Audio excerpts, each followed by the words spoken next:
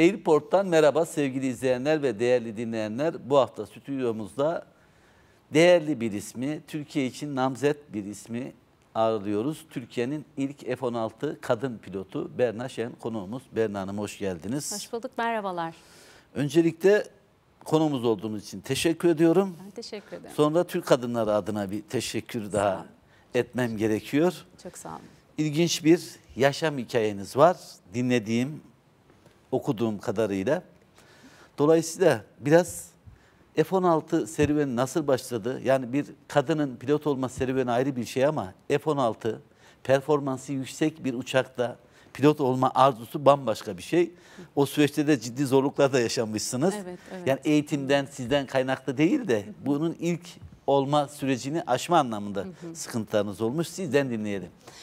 Ee, aslında bu serüven e, bir 25-30 senelik bir e, sürece e, dayanıyor. 93 senesinde e, ben e, lise eğitimimde de e, başarılı bir öğrenciydim. E, Evet. Yani o zaman bize hep hani inek öğrenci derlerdi. Çok ders çalışırdım gerçekten. Seviyordum ders çalışmayı. E, işte o zaman üniversite sınavlarında belli oranların üzerine Harp Okulu e, davetiye gönderiyordu. Beni de başarılı bulup bana davetiye göndermiş. Bu Davetiyede şöyle yazıyordu. Gelin sizi uçuralım falan. Mü- Müthiş bir şey. O zaman bah- e, bahsettiğim yıllar 30 sene öncesi. Düşünün o zaman hava yolları falan yok. Şimdi herkes hava yollarında uçmaya falan çok alışkın. O dönemde böyle bir e, şeyle başladı dönüm noktası. Evet uçmayı denemek istedim.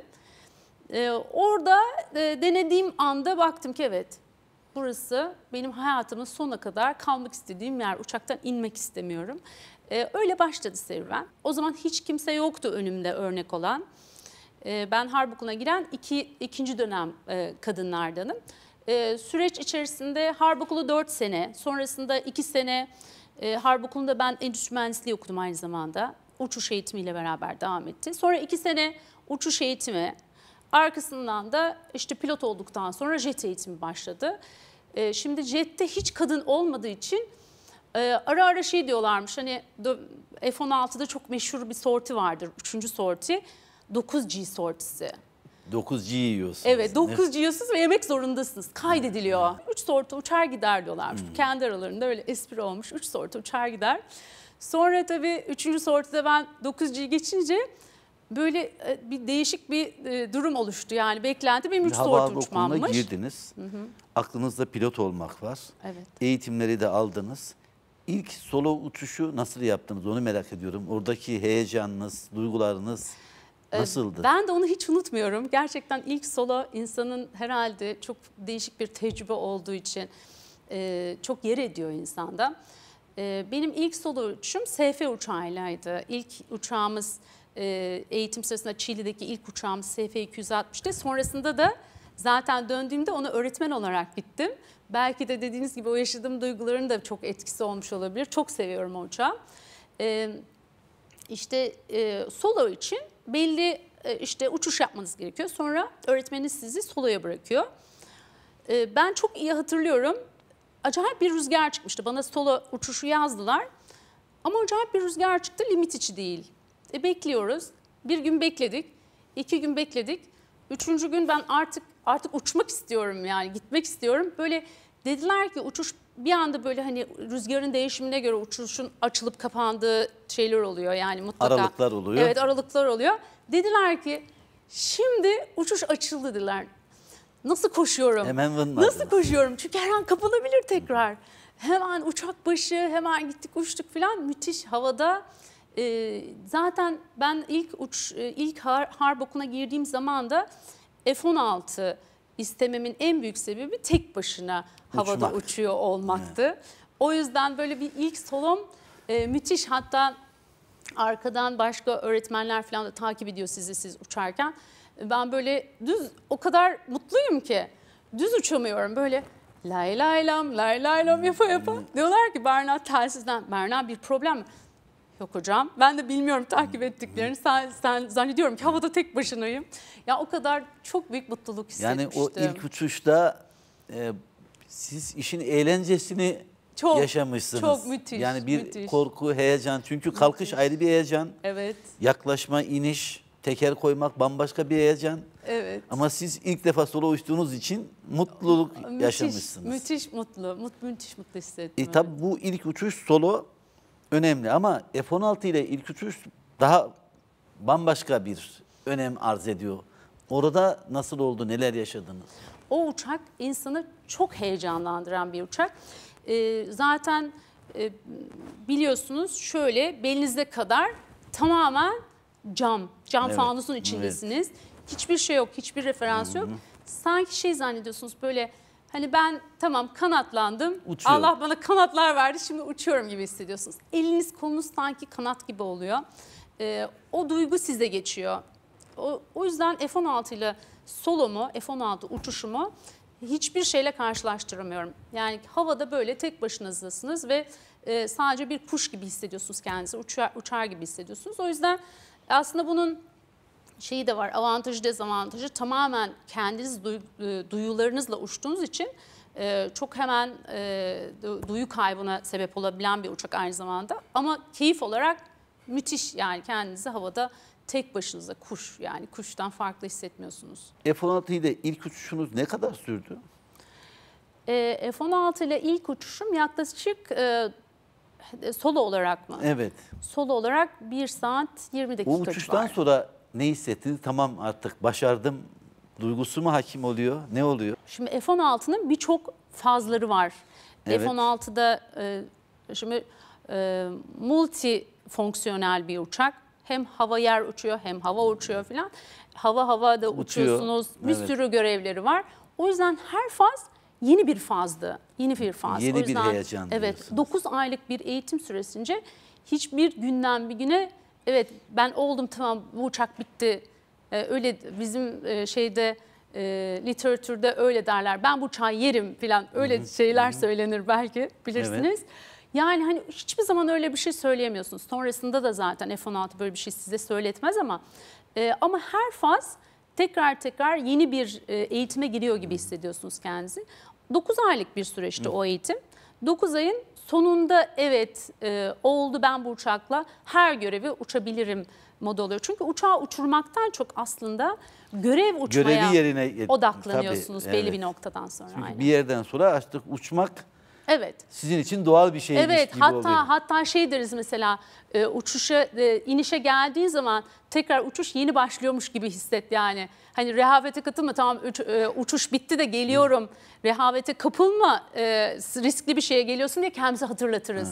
Yani çünkü asıl olay uçuşun görev tarafında. Görevi Evet. uçma. Bomba atıyorsunuz, bombanızı tam hedefte e, eğitimini nasıl yapıyorsanız tam hedefte yapmaya odaklanıyorsunuz. Hava hava uçuyorsunuz, diğer uçağı görmeye odaklanıyorsunuz. Sonra inişe geldiğinizde tamam her şey bitti geliyorum iniyorum gibi. Yani aslında iniş en e, kolay kısmı gibi geliyor ama dediğiniz gibi en riskli kısmı da riskli, tabii. e, inişler tabii. Sonra 9 ay eğitim alıyorsunuz ve ilk görev yeriniz neresi oluyor? Merzifon. Merzifon. Merzifon'u unutamıyorum. Yani Hep herkes... ilkler diyorsunuz. Merzifon çünkü hatta seneler sonra ben Merzifon'a havayolu uçağıyla inip bir işte etkinliğimiz vardı Merzifon'da. Oraya gittiğim zaman o kadar böyle e, uçaktan indim. Böyle etrafa öyle bir bakmışım ki birisi gelip bana sordu. Merzifon sizin memleketiniz mi dedi.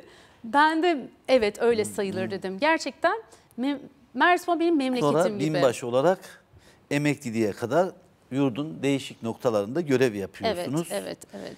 Emekli olma düşüncesiyle hava yolunda uçma herhalde paralel gelişen bir şey. Ee, şimdi aslında bir noktadan sonra o zamanki koşullar çok daha farklıydı tabii. Ee, pilot sayımız e, çok Sınır. yeterli olduğu için o dönemde bir noktadan sonra artık e, daha uçuştan biraz daha karargahlara falan çekiliyorsunuz. Hani binbaşı Bir rütbesinde de o zaman çok fazla. sınır falan konmuyordu. Yani rahat emekliliğini istediğinizde size çok ha, fazla O dönem o, o anlamda da evet ama öteki tarafta da aslında bunlar da birbiriyle çok örtüşen şeyler. Zaten pilotlarımız yeterli olduğu için Evet. sizi yavaş yavaş birazcık geriye çekmeye başlıyorlar rütbeler Evet. arttıkça. Evet. E ben de uçmak istiyorum. Yani uçuş filolarında olmak istiyorum. O işte benim e, uçma e, heyecanımdan dolayı ne- ben öyle diyorum bana e, Leyli'yi getirin onunla birlikte uçayım. Kendi kanadım olmadığı için uçamıyorum. Bir kanat lazım. E, onu getirin uçayım. Yani uçmayı sevdiğim için o yüzden hava yolları e, seçeneğini değerlendirdim. Emeklilikle birlikte hava yollarına geçtim. 2012'de geçiyorsun. 2012 Doğru. evet. E, Sun Express'te mi ilk uçuş yerinizde Sun Express mi oldu? İlk Sun Express'te. Evet. İlk Sun Express'e geçtim. 2012 senesi. Evet.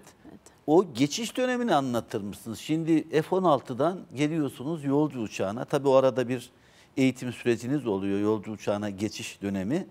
Orada neler yaşadınız? Nasıl bir hazırlık dönemi oldu? Ee, hava kuvvetlerindeki uçuş formatıyla e, sivil havacılıktaki uçuş formatı birbirine tamamen ilgisiz format. Yani evet bir uçak uçuruyorsunuz.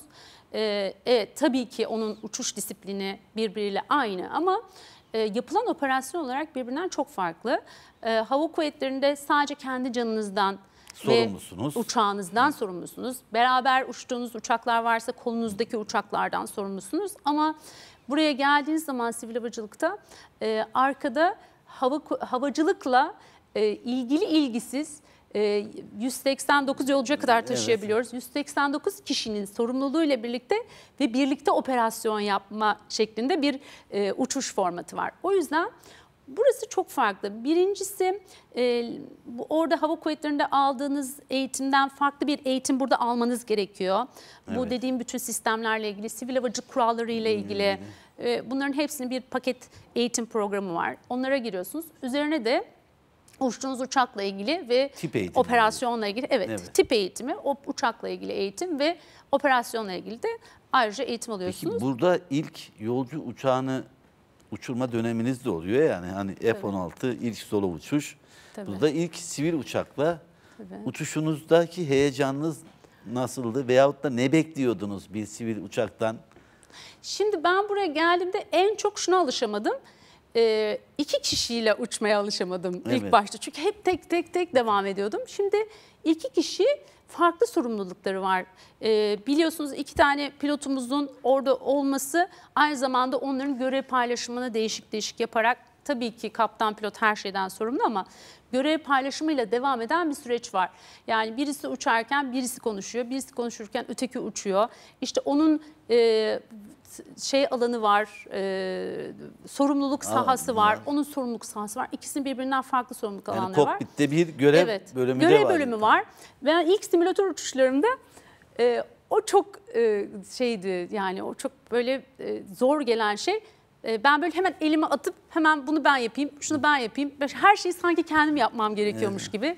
İlk uçuşumda böyle bütün rotayı yani e, Almanya uçuşları falan şöyle 3-4 tane e, harita falan birbirine birleşirdi. Biz çünkü hava kuvvetlerinde gittiğimiz şeyin rotasını böyle görerek, baka baka giderek öyle giderdik. Şimdi burada tabii ki farklı navigasyonlar var.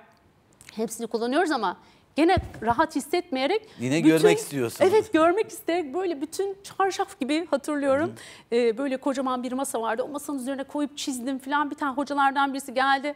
Ne yapıyorsun sen dedim. Hocam dedim her yeri bilmem lazım. Buradan oraya Of hayır hayır kapat kapat kapat şunları dedi. Böyle o kadar rahatsız hissettim ki orayı bilmem lazım, orayı görmem lazım diye. O yüzden yani onlar böyle hani hava kuvvetleri alışkanlıkları burada aşırı her şeyi kontrol ederek, bilerek devam etme ihtiyacı hissettirdi. Bir tek o bö- böyle farklı geldi.